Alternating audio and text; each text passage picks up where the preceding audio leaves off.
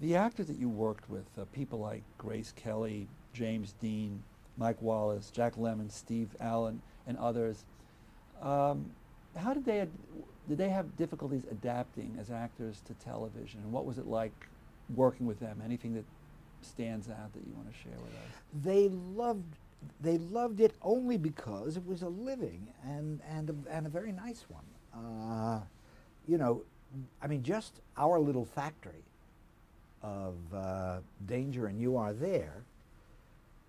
If we used you six times a year, it'd be hard to use you more because then you'd start getting too familiar. Uh, it could pay your nut. That could take care of your rent for the year. And that's just our two shows. There were a lot of other shows, as you know, and we were we were half-hour shows. The hour shows paid even better. So the only difficulty that anyone had, and it took a, lo- a little time to uh, overcome this, all of them from either their theater training or in the few movies that they had done had of course uh, in the theater training there was no looking at a camera. But in the movie training the one thing you never did was that. You never looked into the lens.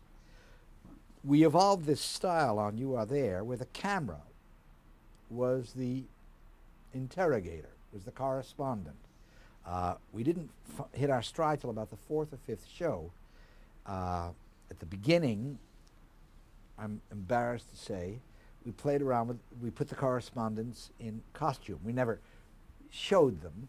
Uh, oh, for the, those, for the audience that doesn't know about this, You Are There was a show in which historical incidents were recreated being covered, covered by modern news techniques.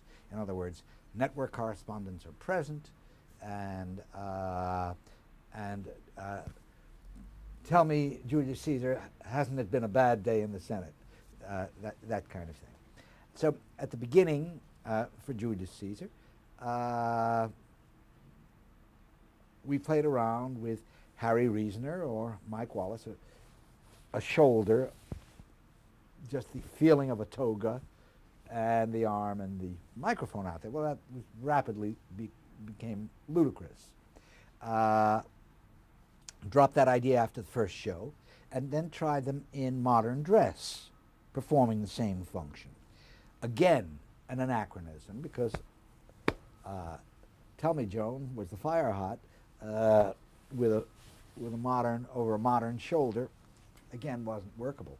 Finally, by about the fourth show, I think one of the writers came up with this technique. I didn't think of it. I wish I had, which was that the camera was the uh, interrogator, was the correspondent. And we always, the interview always began with a fresh cut.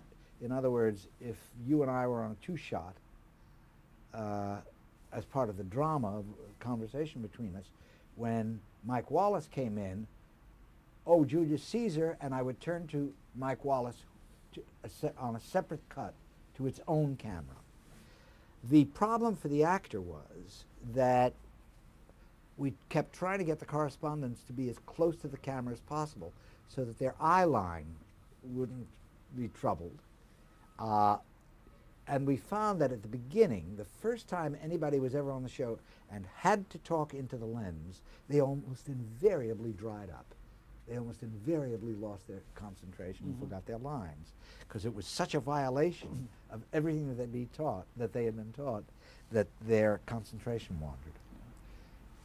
James Dean, any, what was it like working with him? It was wonderful. We did a, uh, we did, I did two shows with uh, Jimmy. We did a Danger, and I don't remember what that was about.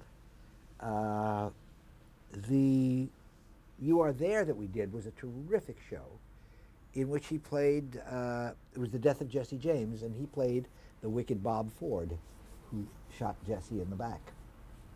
Uh, and he had all that kind of sultry, Jimmy Dean, not quite looking at you, sulkiness. And it was great for Bob Ford.